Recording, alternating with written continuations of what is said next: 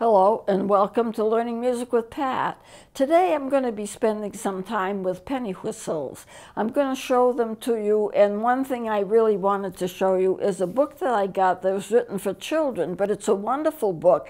It shows a lot in terms of how to read music and because of that and it was written for a penny whistle so because of that I brought in some of my penny whistles to show you and I'll show you and talk about them and then we'll get to the book talking about how to Read Time. It really is quite a good book. You know, I love children's books because they make things so clear and so simple and so easy to understand. And sometimes they're the best books you can buy when it comes to doing sciences and music and so forth.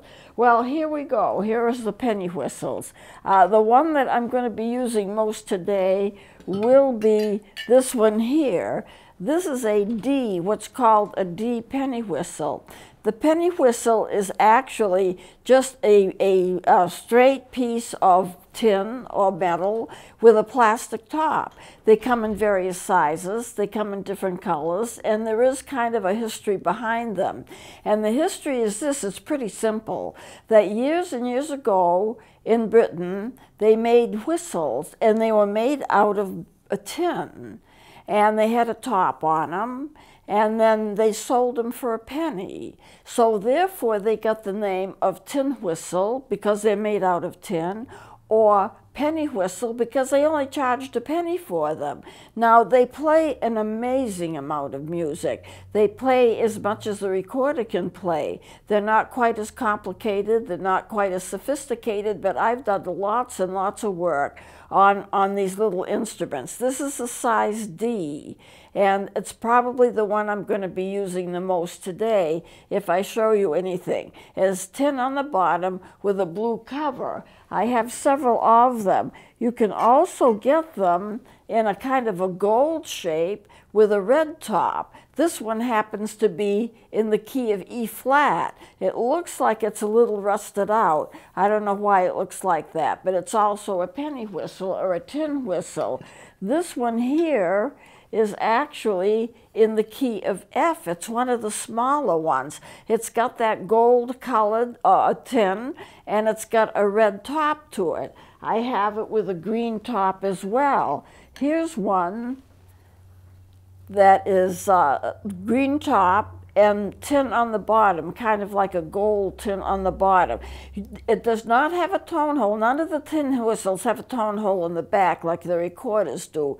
I think that cuts down a little bit on what they can do, and it pitches them a little bit different too. The recorders have a, have a tone hole in the back, and they pitch a little bit lower. So at any rate, there's a difference in the pitch, but not a whole lot. And this is a, a, gold one with a green top. This is also in the key of D. It's just like the first one that I showed you that I'm going to be using more, but the coloration is a little bit different. And then, of course, I have one uh, that's here, the red one with a red top, the key of F, I think that's about the smallest that I have. Now I have one that's quite a bit larger. It's called a low D penny whistle. I've had it in here before, and this is it. It's really quite large. It's a beautiful instrument. It plays very, very well. Like any of the other penny whistles, it has no tone hole in the back. It has the Fipple type mouthpiece, which we've discussed before. It has the tone holes in the front, but notice the finger stretches between those tone holes. I can no longer use it for solos but you can see the stretching that you'd have to have in your fingers. I can do it, but I can't do it for, for long because it's just too stretched out. And if you have a hand that has a problem, or if you have, you know, arthritis, or if you're elderly, or if you're young, it's almost impossible to get all those fingers stretched so that you can actually play a scale. But it plays beautifully, has a wonderful tone, I love the tone. It's terrific. You can take the top off, not, but you would only do it for the cleaning purposes. This is the largest that they make. And it, it, it is, as they say, a low D. And what I showed you at first was a D. it's in the same pitch. It's just a lot larger. Now, there are a lot of other little instruments that are similar to a penny whistle, or a, uh, sometimes I also call them Irish flutes because they do a lot of Irish music. As I say, they're amazing in the amount of music they can play. But I have other instruments that are very similar to the penny whistle or the tin whistle. For example, this one is a Shaw's. It's, it's pointed, you know, it's not cylindrical, it's conical, and it has a wooden plug in the in here, which I have my finger on. It has the same kind of mouthpiece, but it has a little plug in it, and that makes the tone a little bit softer. It may not sound soft right here, but trust me, it is a little bit softer. I have a Clarke's uh, D. This is a Clarke's D flute. It's also conical, and it has a plug, a wooden plug by the mouthpiece right where my finger is, labium in front, Fipple mouthpiece. I hold it here. You can see it better, I guess, if I hold it here. And I'll play just a couple of notes so you can see. Not particularly loud, no tone holes in the back. You can see how that mouthpiece uh, slants. You see how it has that kind of slant in it, and it has that cork in it or that wooden piece in it. It's actually wood, and it has a little space between that that piece of wood and and the uh, outer edge of it. I don't know if that comes in clearly, but okay, you got it. Good, thanks. And uh, that makes a softer tone. So you have the Shaw's E. E is an unusual key to get a penny whistle in, but this is the Shaw's E. Then, of course, you have the melody flutes. I brought these in before, and I just brought in four, just so you can see the various colors. They're very intriguing because of their colors. This is the orange one. They don't play very well. They do play some, but it's on the same idea, except it's not near as good as what the penny whistles are. They're plastic and they're, you know, kind of inexpensively made, basically for children, and children love them, and I like to keep them on hand for children. The pink one, this is also a melody. You can see the raised tone holes in the front, which is handy for new students because it's easier for them to know where to put their fingers. And the same thing here, this is kind of a rose pinky color and it has the same raised thing in the green ones. Now I want to mention the advantage of anything which, with a raised thing is that it's easier for students to find when they're first beginning their, where their hands go. When you pick up an instrument, once you learn how to play it or you're in the process of learning how to play it, the one thing that you shouldn't have to do is look and see if you got the fingers on right.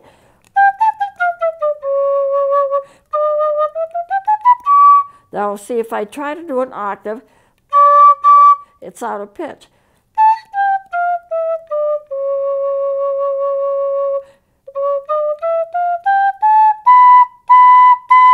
And if you try to go higher than that, it doesn't work. But at any rate, they do play well enough that children can learn something from them. They also have a little raised area in the back where you can put your left thumb, that's made for it, and a little raised part for you to put your right thumb. Remember, left hand always goes on top, right hand always goes on, on the bottom. There's a, a carved out place, a little raised place that you can put your fingers and your thumb so you know where they go, and then your, your fingers in front kind of fall into place.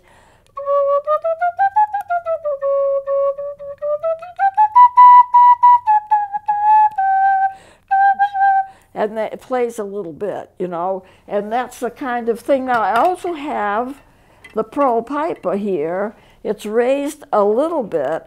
Now, I only paid less than $2 for the Pearl Piper. The Pearl Piper plays well. As a matter of fact, I've done solos on it. It pitches well, it pitches to itself, it pitches with other instruments, and it's certainly worth the less than $2 I paid for it. I was in a store uh, with a friend of mine, and my friend said, Hey, what's this? And she looked down, and I looked, and there they were. And I picked up a couple of them, and I says, they're mine. That's where they are. That's who they belong to. And I bought two of them. I've not been disappointed with them because they do play quite well. They look an awful lot like the melody flutes that don't play near as well, but don't they look alike? You know, it looks almost like they've been made by the same company, but I don't think so. The, the names on them are different, but they really do look good.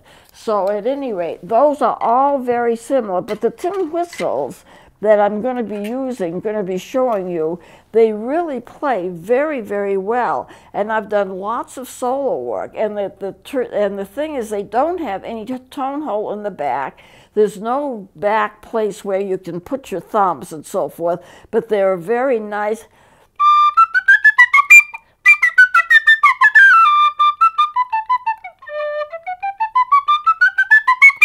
They have a two octave range. So they're really a very good instrument. And I can use them. The only thing is if I use them with recorder music, they're going to pitch one step different than the recorder will pitch because of the fact that, I think, because it doesn't have a tone hole in the back.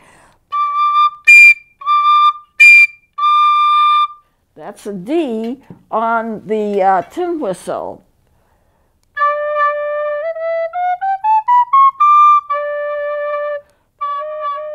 It's a little bit different pitch. So, uh, and uh, I do have the tone hole on the recorder, but they don't pitch exactly the same. They're a little bit off. Well, what I wanted to bring in, and I'll start it, I don't know if I'll finish it with this segment or not. I have a book here. It's made as an instruction book for the tin whistle. It has a picture of the tin whistle on the front, and in it, I want to show you some pages of the music because it, it very clearly spells out some of the things I've been trying to teach you in terms of music reading. I mean, it's large, it's clear, and we checked it this morning and it can show up fairly easily on, a, on my uh, uh, board here so you'll be able to see it. This is basic music reading. I'm going to not go through all of the pages but I will go through some of the pages. So here's one of the things. This is a scale, uh, uh, and this is so this is a fingering chart. I'm going to be going into fingering charts, both this segment and next segment. But the fingering chart is this: you have the scale. A scale is where you just have a group of notes, and they go up sequentially, either by a half step or a whole step. This starts on D. Well, the penny whistle that I'm using is in the key of D. So D, E, F sharp. You notice here there is an F sharp. I put them in this morning. F sharp and C sharp. The key of D has two sharps in it. And usually when you get to the key signature, they're written in. They didn't have it on the scale, so I put them in. So D, E, this is your F sharp. The F sharp raises a tone by a half a step. There are no flats in this book, but if there were, the B flat or any flat will lower a pitch by a half step. This is the, F sharp, G, A, B. This is a C sharp. Notice the sharp is in front of it, in front of the note that you have to sharp, and this is the D. So there's an octave here.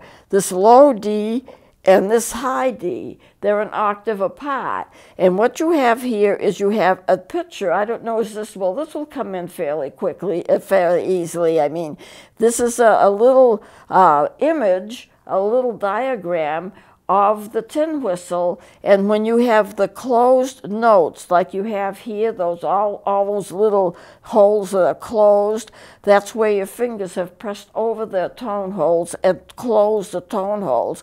On something like this that none of the tone holes are closed so you get just a circle with no coloration in it. And that's we're going to be the C sharp. Incidentally that's the same way as you play a C sharp when you're playing the saxophone.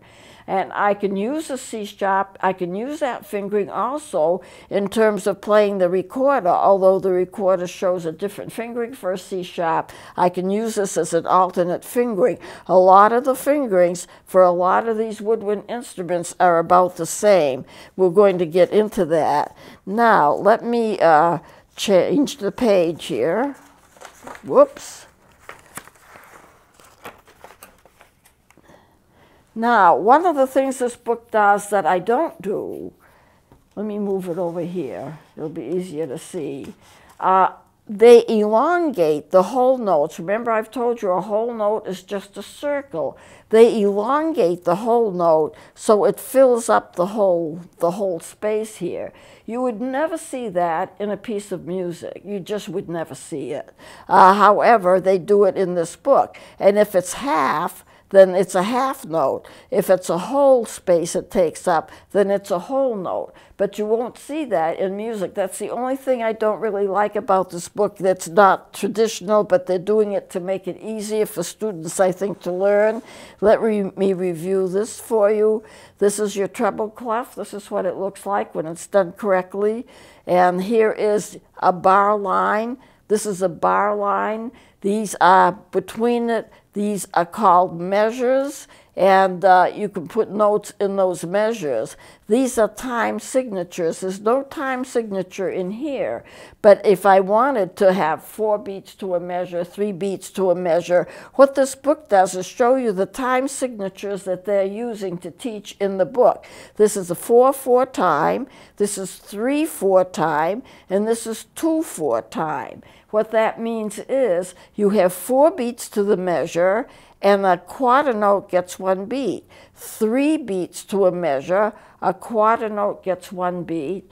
Two beats to a measure, the quarter note gets one beat. Uh, whenever you see that four, it means quarter note. And that quarter note, which is right here, it's a, this is the body of the note, and the stem goes down. You can have the stem up or down. It doesn't make any difference. It's still a quarter note. So I wanted to review that with you. And uh, let's see, switch another page here. Here is a time signature. Whoops, let me, well, I can use this one day. You don't need to change it. This is um, the treble clef and 4-4 time.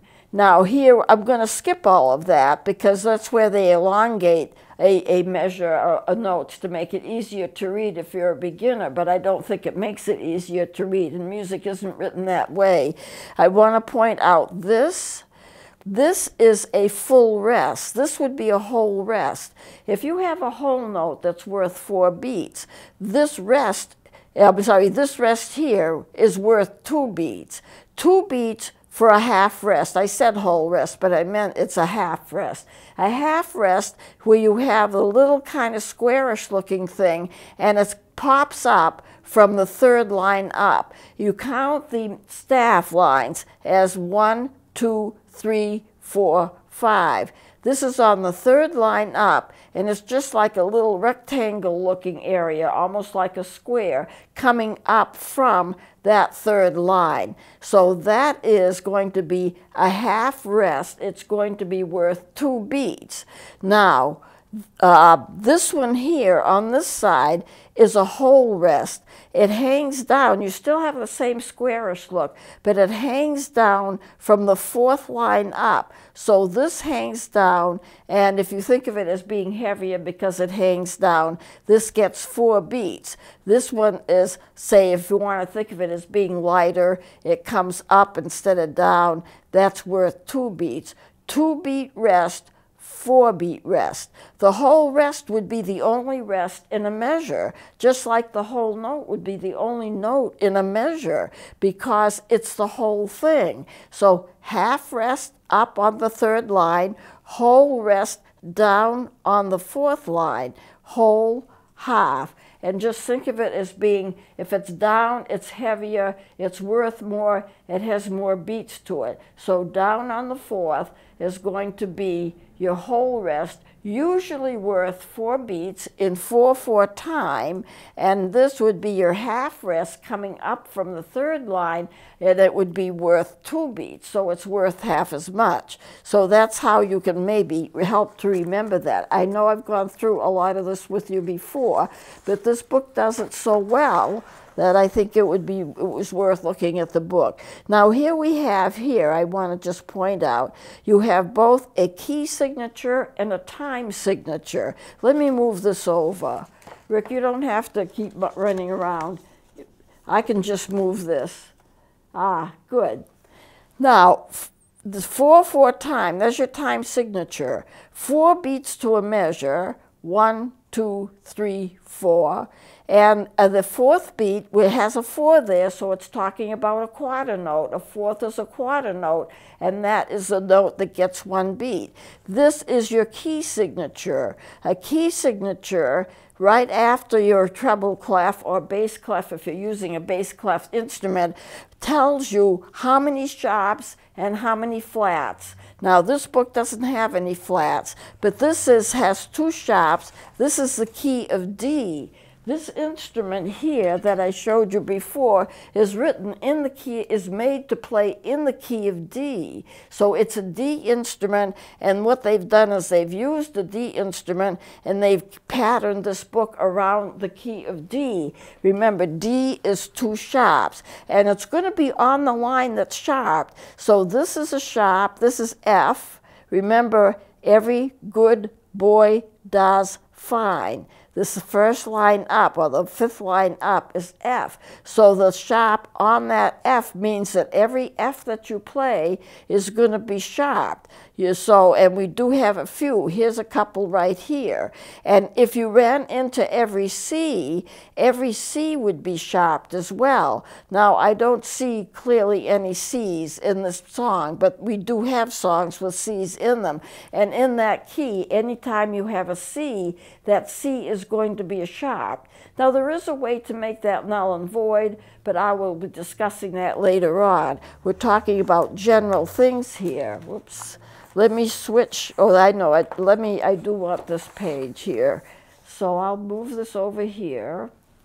Here again is your two sharps, F and C. And um, here is the fingerings. This is like a little diagram of the penny whistle. The mouthpiece on top, and there's a little circle in the bottom indicating the bottom of the instrument. You may not even be able to see it, but it's not important. And you can see that every hole that is darkened, that is colored in, is a, is a hole, a finger hole that you have covered with your finger.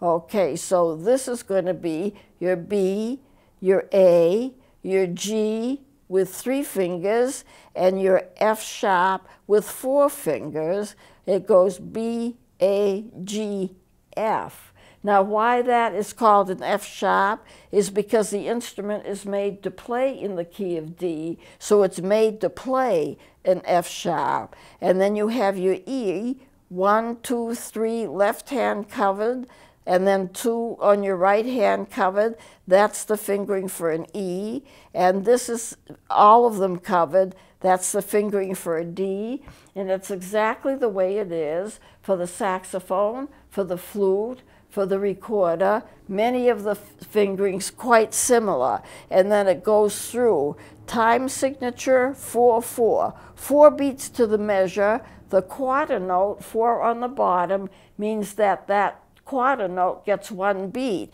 So if I'm to count this, one, two, three, four. And you see that's the bar line. That's the end of the measure. And then uh, over here, one, two, three, four. There's another bar line.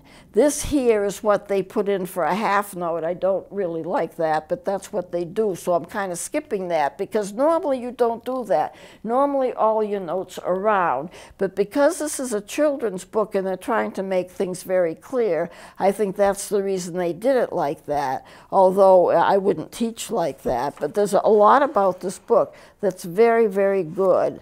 Now, things to remember. I'm going to move this up. I'm just going to read this off. Uh, tongue the beginning of each note as if saying two. Now we've gone over tonguing before. It's critically important that you know how to do it. You're not going to get any smooth tones if you don't know how to do it. You put the instrument in your mouth and you put it like half, you put it like a third of the way in and as if you're saying ta, ta, to when you're playing it. Now I notice that I'm running kind of short on time here, so what I'm going to do is close it here, but I'm going to continue with this book next time. I want to get this done because there's a lot in it that's very easily understood, and it will teach you, or really give you a real heads up in terms of music reading. So I want to continue with this next time. Please join me then.